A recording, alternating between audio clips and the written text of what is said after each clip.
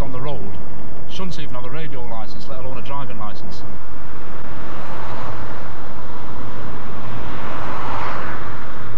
We had a female driver going along the M62 filling in a crossword puzzle as she drove. She was stopped, it was a young woman of about 23 years of age. She travelled from Manchester to London two or three times a week and was so bored with the journey that she took to fill in a crossword puzzle as a way of relieving the monotony. She advanced from doing word crosswords to numerical ones. And because she wasn't very good at sums, she actually had a calculator strapped to her left thigh. I often wonder what would have happened when we tried explaining that to a coroner's court.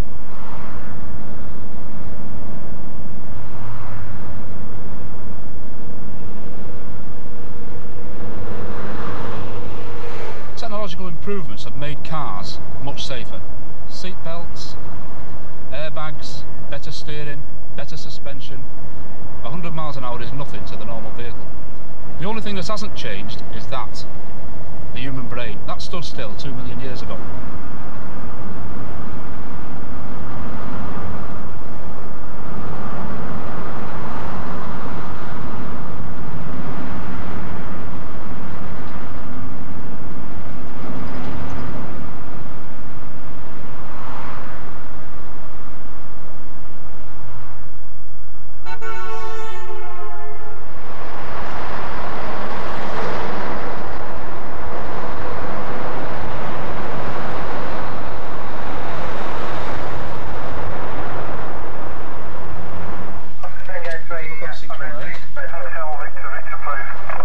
Yeah, stand by, please. Dartmouth to Park, out of City, Parkland Lane 1, okay over? What was the problem with Gordon? Have you looked at camera 5 to 8 at all? Mike Alpha Oscar Tango 7 over. Do you know if he's collided with something? Yes, can I have an update please on the RTA over? One vehicle involved, non-injury. One upright central barrier damage, cancelling form. At market post 27 oblique 4 on the southbound. Yes, Roger 7, thank you, Mike Alpha. Well, he's confident the way he's Yes. walking, lane through. I don't know. I don't know. Where's he walking? God knows. Go for a stroll, mate. Yeah, I've got that on tape just in case. Look, oh, he's going to walk across the carriageway now. Totally stupid. man. Obviously, he's coming out of the motorway phone. I'll tell the girls if he comes on the phone, go back and wait. Yes, Roger 3. A peak amount of traffic is about 150,000 vehicles an hour, um, and it was designed for about 70,000 vehicles an hour. Obviously, you know, it's uh, at certain times of the day, virtually every day, we do get the congestion. There's nothing we can do about it. It's just a matter of um, trying to manage the traffic.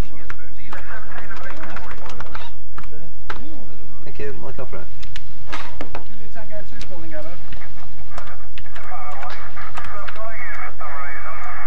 The amount of vehicles travel through the area in a day, you've only got to get the bad driver. Uh, then, then you know it turns in. It can turn into carnage.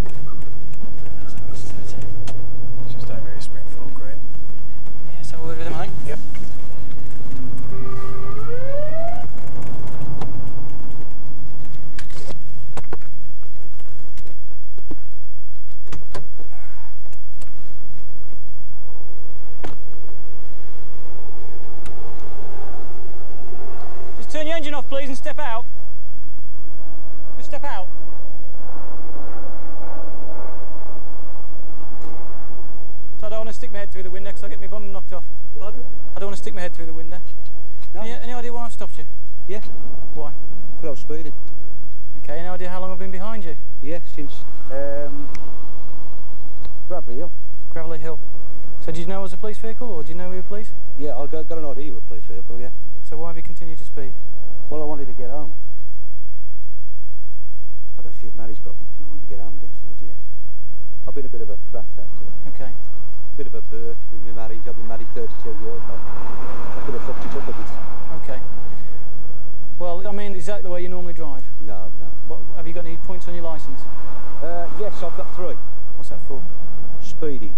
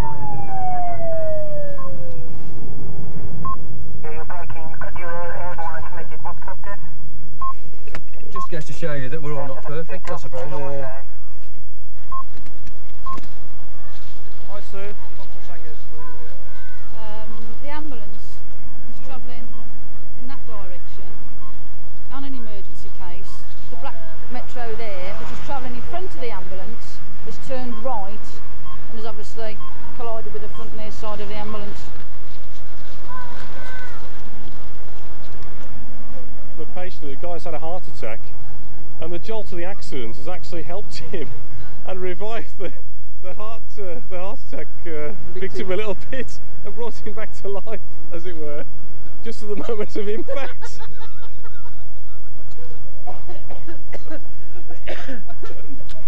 so there we are. Just goes to show you. It just goes to show you how uh, the good Lord saves all. Uh, and he gets rid of a bit of metal at the same time. We're just going to check on the condition of the, of the people involved and then uh, if it's okay we'll clear the scene. We've got a recovery truck coming for the ambulance. Uh, of the metro is quite badly damaged. So not quite sure what's happened at the moment in respect of how the cars have, or the ambulance come together other than the fact that he was obviously on the way for a blue light job in view of his casualty in the back of the car. The back of the ambulance rather.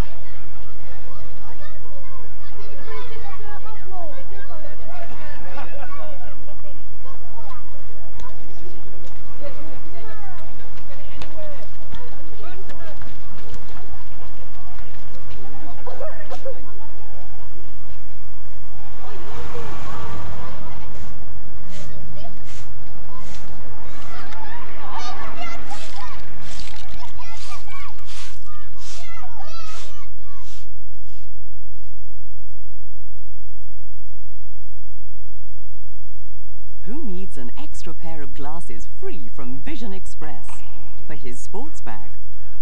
for when she's not wearing her contact lenses. Always on her bedside table.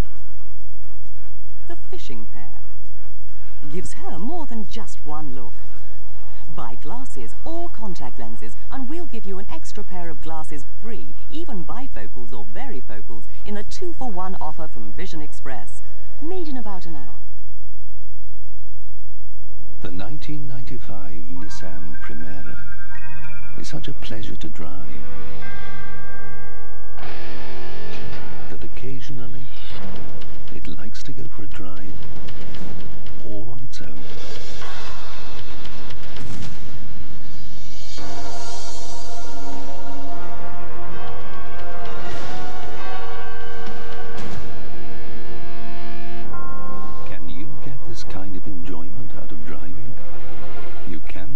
The 1995 Primera.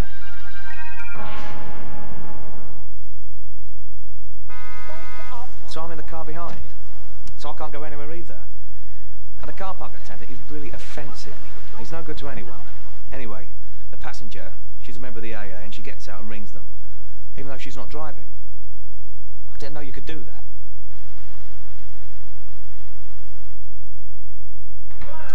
Have you seen my razor? I think it's on the cabinet.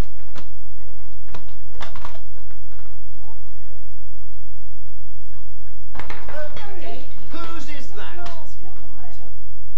to do with me. What do you think you're playing at? It's not mine. Don't look at I me. thought we told you to be careful. John, I think we're the ones who should have been careful.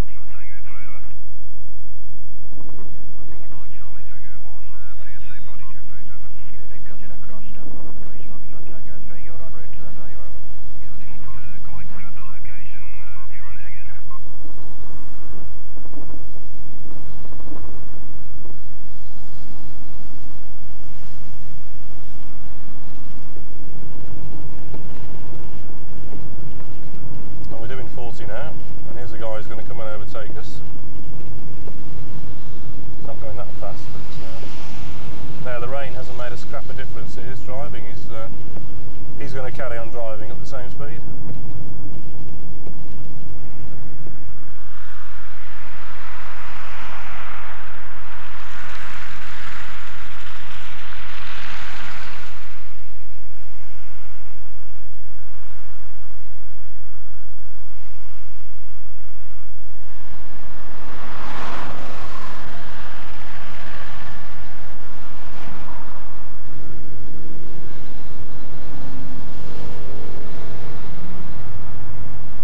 You've got to remember that there are people who get into the vehicles and all they want to do is get to where they're going with the least amount of uh, interruption.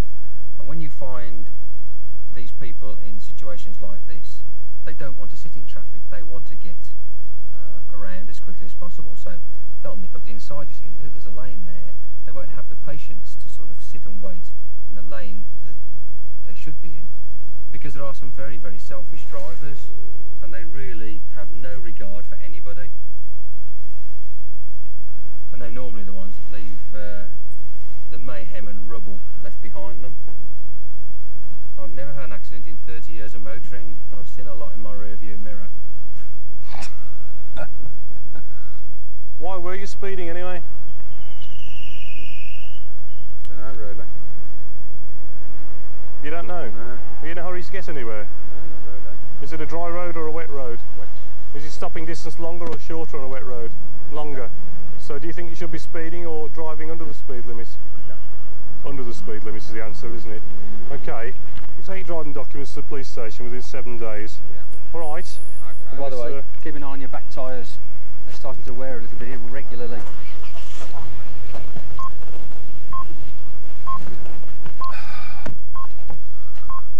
Uh, how much do you want to bet that he's got no insurance? I'd like to bet a lot of money. How much do you want to bet he's got no MOT either? I think that's a fair comment, that. There's quite a high amount of people driving around without insurance because in the times of recession, the first thing to go is insurance. And uh, there we are. Well, the car's only worth, what, four, three, four hundred pounds? Yeah, yeah, the car's not worth a fat lot. The insurance would be double that for a young lad like that. It would double it, so what's the point in insuring it? You've got a car, and what are the chances of being stopped? Minimal. So, and as say, if he's got no insurance and he's driven away from us, um, that is the way the law is run. We, we're not to know otherwise. So there we are. But we're betting men, and we're, we're going to have a shilling that he might not have any. Shilling? Oh, all right then. a bit more Two- than that. two bob.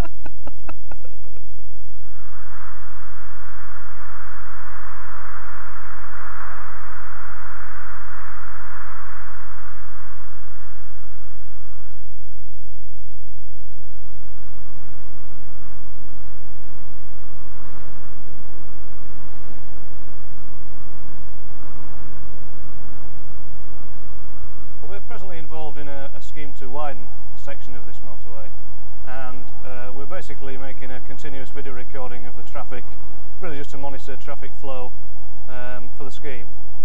Um, we'd been set up pretty early and, uh, uh, and the weather conditions changed quite dramatically just before the incident.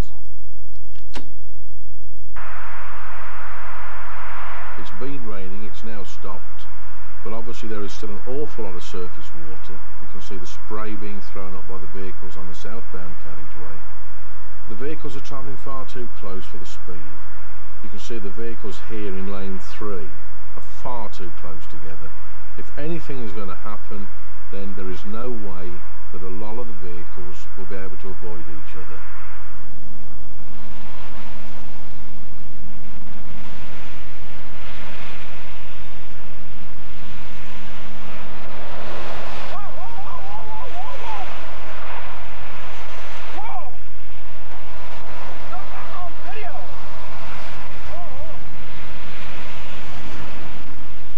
the Cavalier spun maybe twice, partly on the Central Reserve and the fast lane.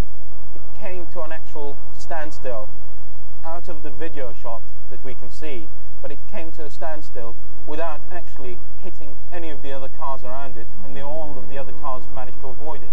It took him roughly about three, maybe five seconds to recompose himself and he actually drove off not realizing, I don't know if he realizes to this day, what happened behind him. Th- th-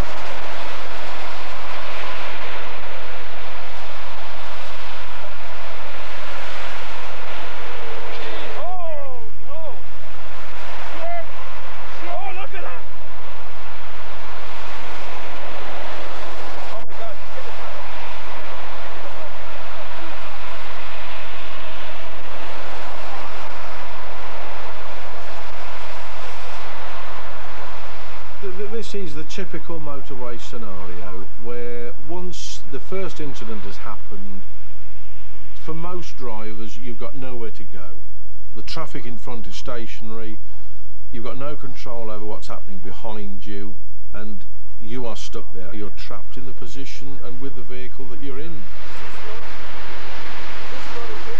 The cars on the northbound carriageway are slowing down just to watch what's happening on the southbound carriageway. They've got the flashers on and they're slowing down to see what's happening in this accident. People are almost coming to a standstill here. This is horrendous. This is the worst thing I've ever seen in my life. It's devastating. Oh my god, no. I mean, just can't take another accident.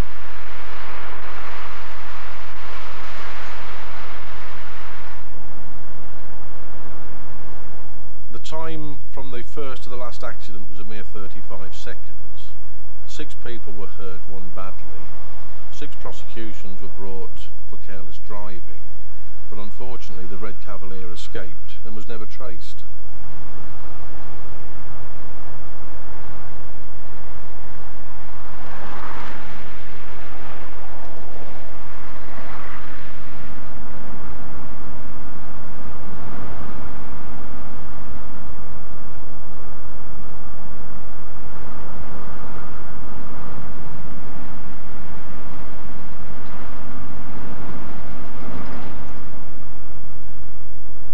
If you're going to have a collision,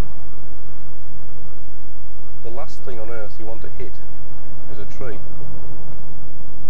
Because a tree will not give way no matter what sort of motor car it is or how fast it's going. If you hit one head on, we had a good one not so long back that was, uh, was head on. Um, it just came to a complete halt where it was and just fell a little bit left back onto the road. Um, the effect on, on the car, which was a Ford Orion, was to put the, the pedals of the vehicle were actually touching the driver's seat. You know? Now you imagine that. Now where was that driver's legs? I mean, well, they were still there, and, and the fire brigade, after they'd spent about an hour cutting him out, it still got his legs, but uh, that gives you an idea. That's the whole of the front of the car, through the engine compartment, um, the bulkhead, the, dashboard, the whole thing, you know, has come forward up to where the driver would be sitting. The steering wheel's gone up in the air. The gear lever, the gearbox has all come up through the middle there, you know. There's, uh, there's no, uh, no forgiveness with the tree at all.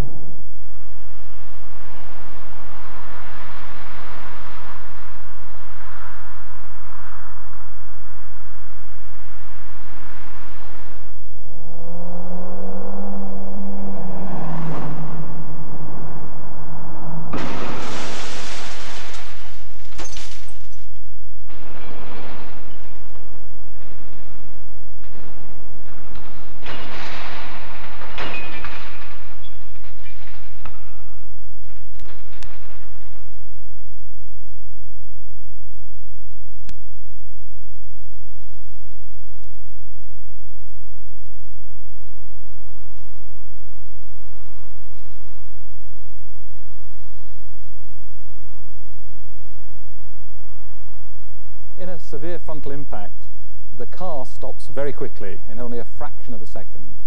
But the occupants of the car don't stop that quickly. When the cars come to a rest, they're still moving forwards at the original speed. If they're not wearing a seatbelt, then they'll go forwards and they'll smash themselves into the windscreen, into the steering wheel, into the fascia.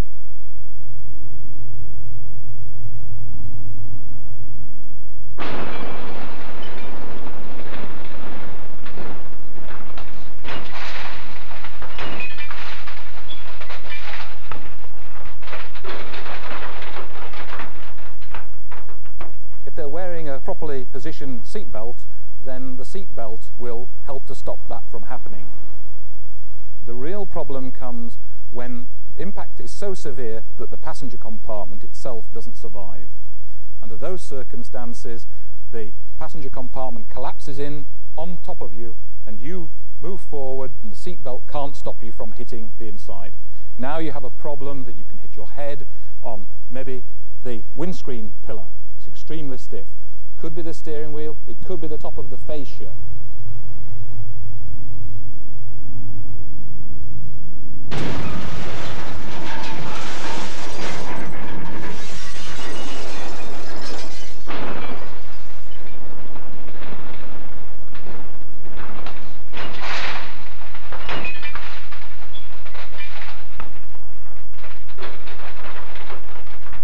As well as hitting the face on the steering wheel, then the knees can move forward and hit the fascia, either side of the steering wheel.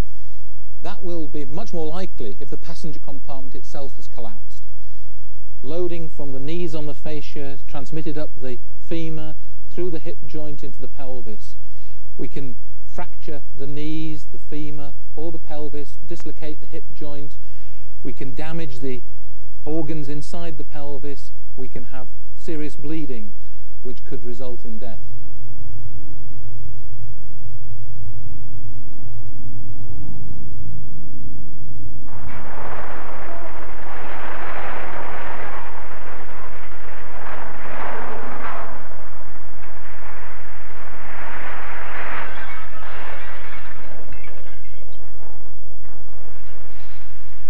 Cars are not as safe at the moment as they could be. People don't drive as carefully as they could. I think they also tend to believe that an accident is something that's going to happen to somebody else. And perhaps we promote that by talking about people being to blame for accidents.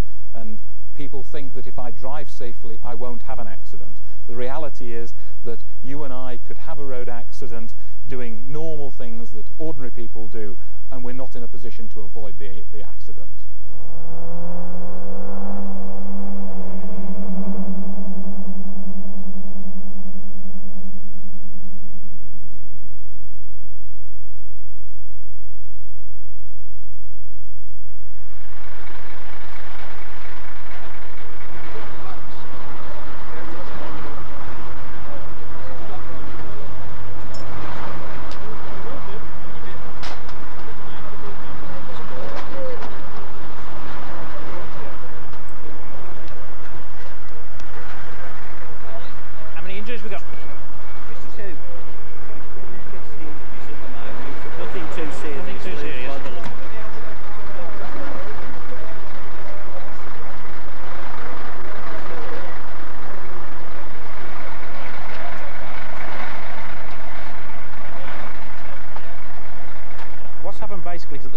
Car has come down the dual carriageway on the wrong side of the road.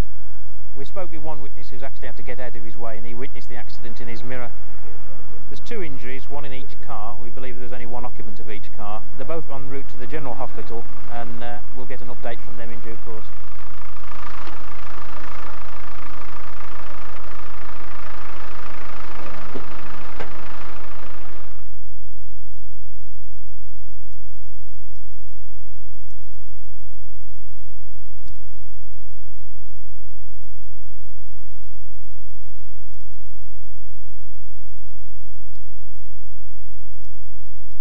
I've no memory of the accident at all, other than um, leaving the office at work and uh, saying goodnight to a colleague and, uh, and and waking up in an ambulance.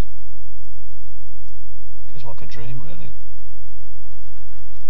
I think it was two days later before I knew exactly what had happened um, and, the, and the consequences of someone coming down the carriageway on the wrong side.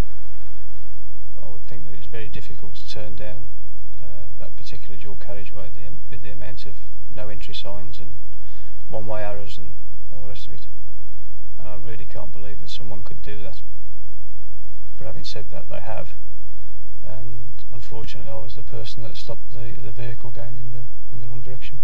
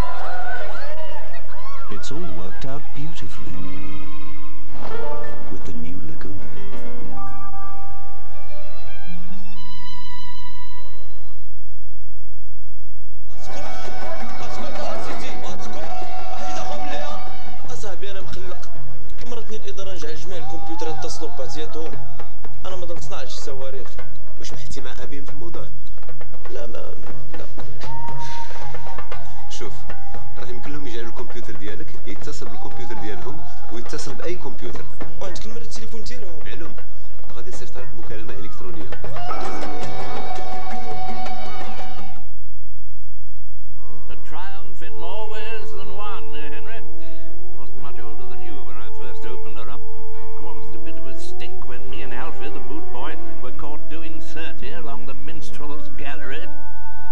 Equitable Life, we never play fast and loose with your money. We pay no commission to middlemen, and we have no shareholders, so you profit from our principles. Right, Henry. Let's burn some rubber. It's an equitable life, Henry. Wow. It must be new Arm & Hammer baking soda toothpaste. A Johnson's baby knows that there's no milder cleanser than Johnson's baby lotion for clean, baby soft skin. Shouldn't you be a Johnson's baby? The burning pain of excess stomach acid may be put out, only to come back.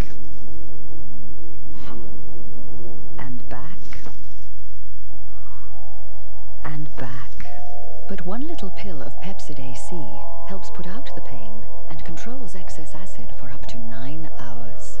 Pepcid AC, available from your pharmacist without a prescription. Acid control for up to nine hours. At Tesco, we think the world of our customers, and we've been looking for a way to show our appreciation. With something a little more useful than just a thank you. Now we think we found the very thing. The Tesco Club Card. As a Club Card member,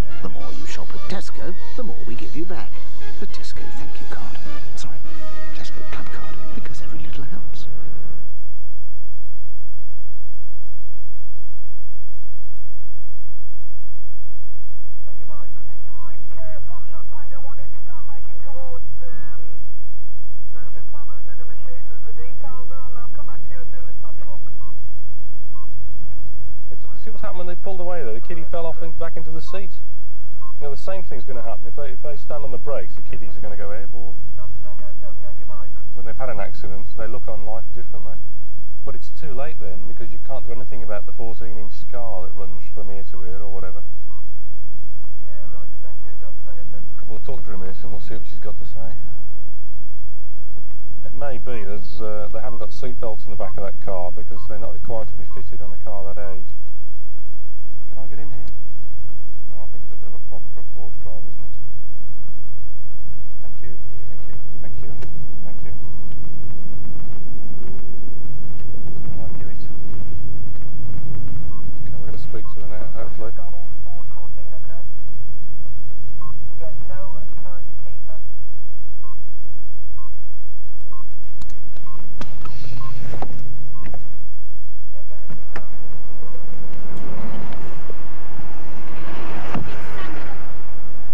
Hello.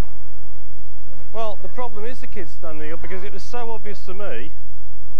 When the kid is standing in the middle there, yeah, I know, but what's going to happen if you come to a sudden halt when she's standing up? You tell me what do you think is going to happen? She's going to go forward. You've just come up the road there, 30 miles an hour or whatever. What, I was under 30. Well, all right, then how fast are you going up the road? About 27. Right, so you're coming up the road, 27 miles an hour. What is going to happen? Is it your daughter? Yeah. What's going to happen to your daughter if your car stops suddenly? I know, she's going to go forward. How far forward do you think she's going to go? Straight forward and How about straight through the windscreen? Not just gently forward No, and hit the back of the seat. She's not just going to go gently forward and hit the dashboard. She's going to come straight through the middle of this screen.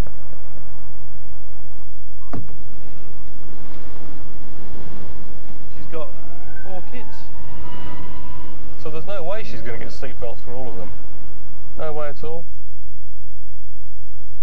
Perhaps she'll never have an accident. If she does, and she doesn't get her belts, they're all going to go flying through the window.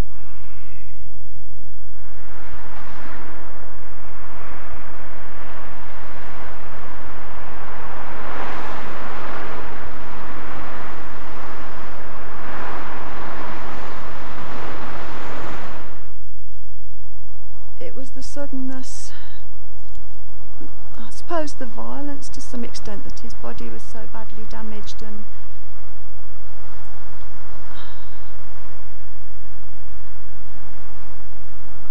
it was we, we were totally unprepared for it. One minute he was there, a normal, happy little boy running around like everybody else, and the next minute he was just a mangled little body. At 21.10 hours on Saturday the 13th of October, a fatal road traffic accident occurred in Burney Lane, Ward End, near to Christ Church. A member of the congregation, James Taylor, aged seven, was killed whilst crossing the road towards the church. The vehicle travelled over the brow of a hill and struck James approximately 60 metres beyond its crest.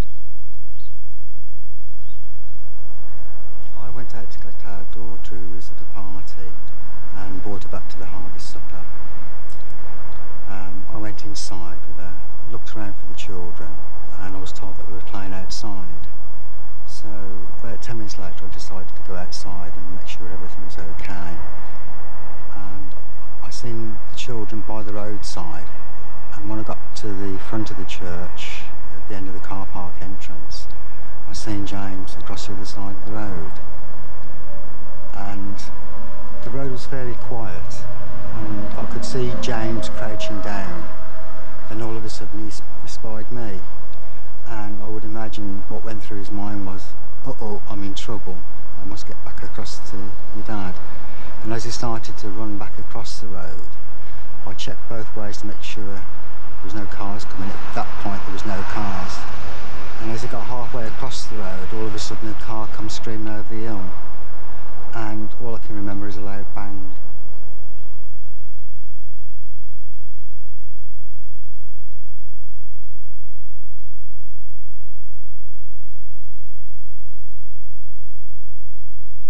To give an idea of time and distances involved, a vehicle has been filmed travelling at three relevant speeds. Firstly, the vehicle will be seen appearing over the crest of the hill at 30 miles an hour.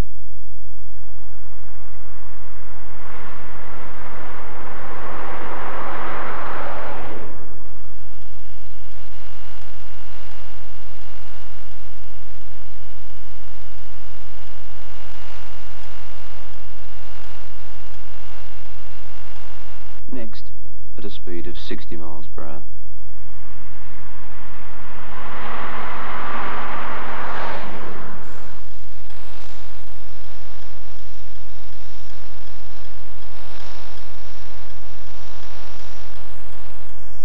Now we will see the vehicle travelling at approximately 70 miles an hour as it reaches the crest.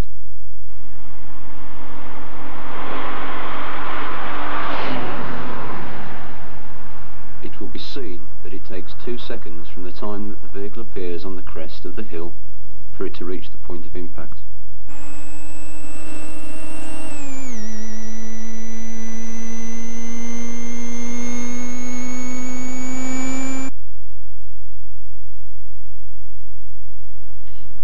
It was just. He was just laying on bed. And he got like a, a collar around his neck. Quite a lot of blood around. And he just lay there very stiff, very, very still.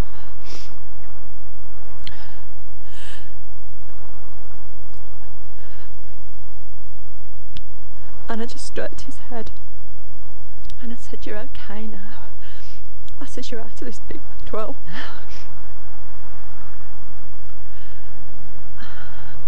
And I, I just wanted to get away. Part of me wanted to hold him. Part of me just wanted to get away from there and go back to the other two children. On the Monday morning, I woke up with a desperate longing to hold him. So they took me to the hospital mortuary. And I tried to pick him up, but I couldn't because he was just like a block of stone. So I just lay across him and held him and told him I was sorry for what I'd said on the night he died. I told him how much I loved him. I mean, I know it wasn't James, I knew James wasn't there anymore, but what was left I just so desperately wanted to pick him up in my arms and hold him. I couldn't. And I regretted not having done it on the Saturday night. But the Saturday night, I was just in so much shock. I just wanted. I think I felt that if I got away from there, it wouldn't be real. That we could go back home. I don't know what I was feeling really. I just wanted to get away from the hospital.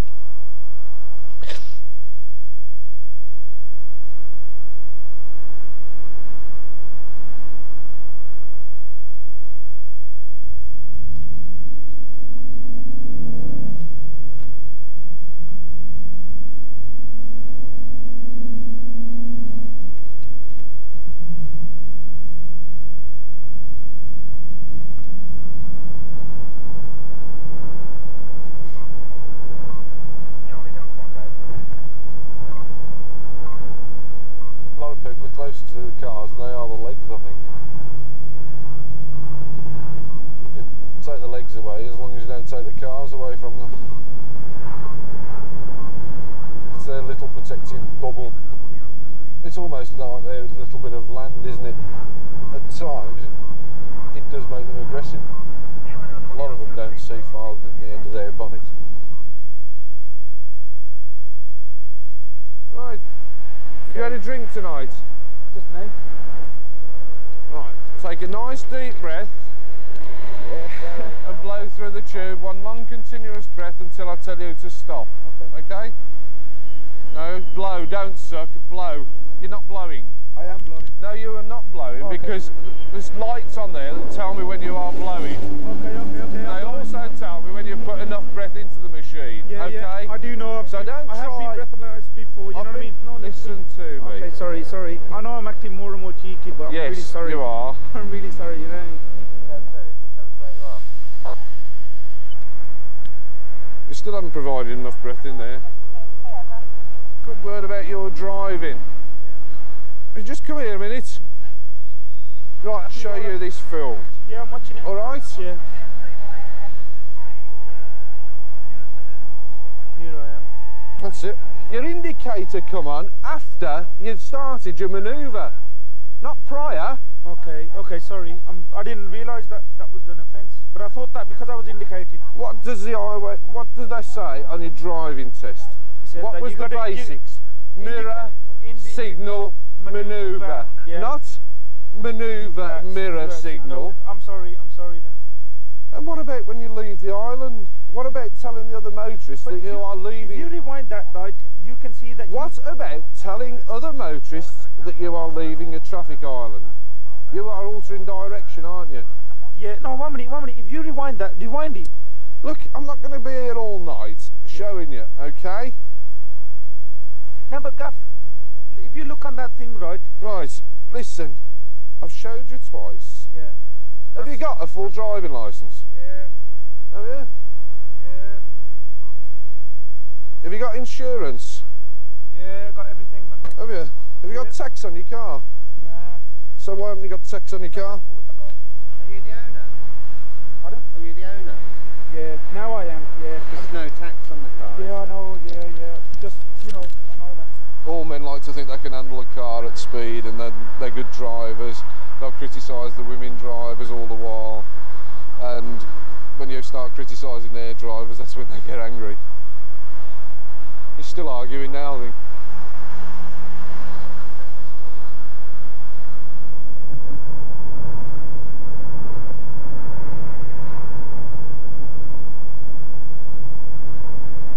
Let me say some of the manoeuvres he done there are the ones that cause the accidents.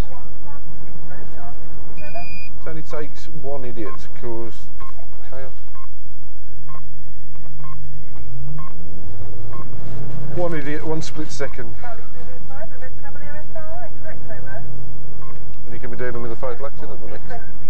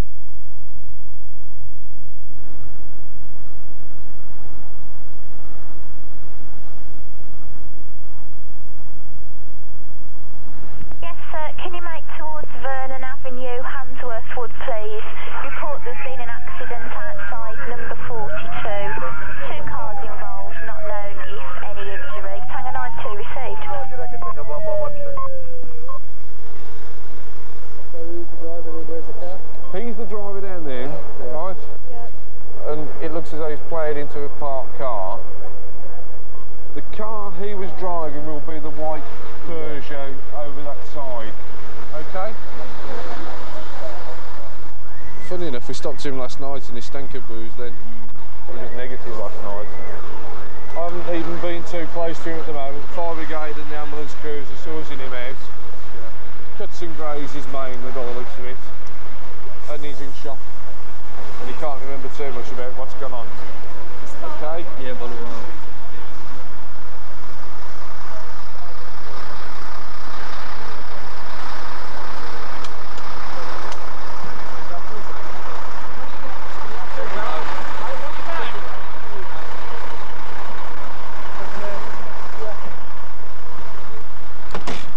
He's got to have been going a fair lick then, hasn't he? If he's pushed, what, what's a Volvo?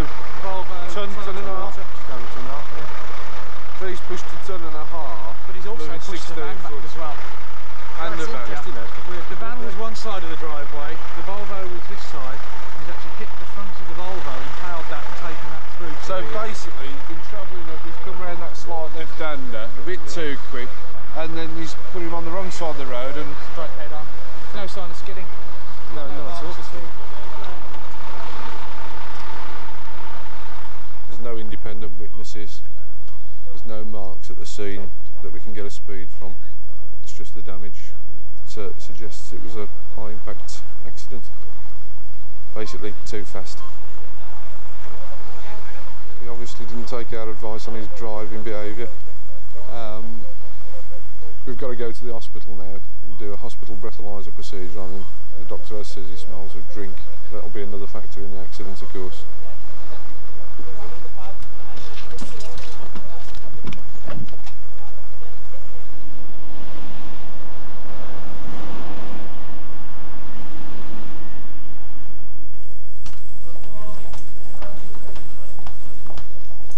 We meet again.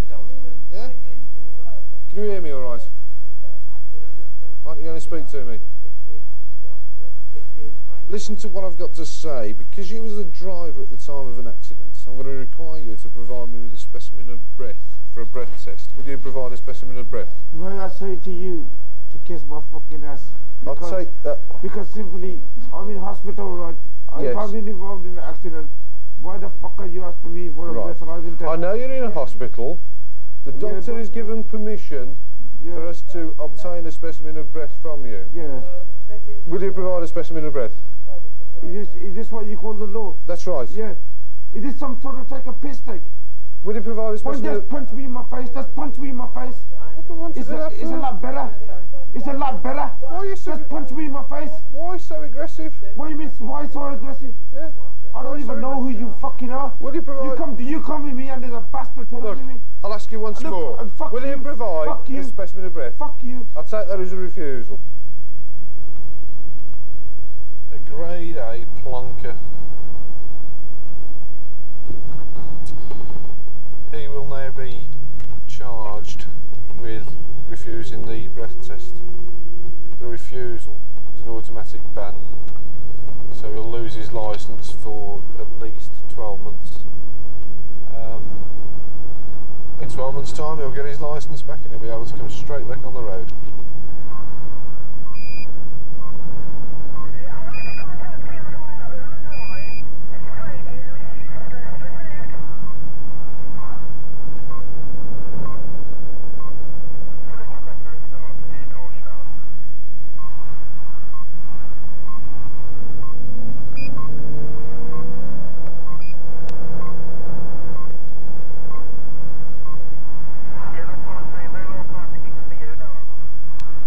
I know I, I was probably a bit too quick out at the junction, fair enough.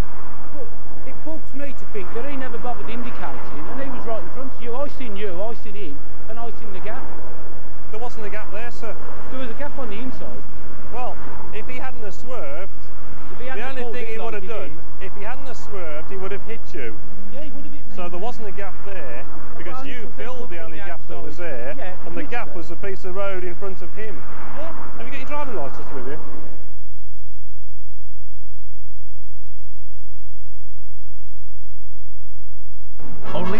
Passionate. Going over a fence to me is better than having sex. Only the strong. Sheer, rigid muscle. Only the brave. I jumped seven foot four with a broken collarbone at Wembley. Can hack the tough world of show jumping. I do think they're attractive because they're very brave. I discipline myself a lot more than I ever do any horse. It's a beautiful feeling. You'd have to do it yourself to find out what it's like. Cutting edge on the trail of the jumpers next Monday at 9 on 4. On ITV shortly, news at 10. Here on 4, Kelly discovers what his fate will be, and Sipowicz learns the true meaning of a cover-up. NYPD Blue is next. New Argos catalogue, take one. Oh, cut, cut, cut! I said take one! The new Argos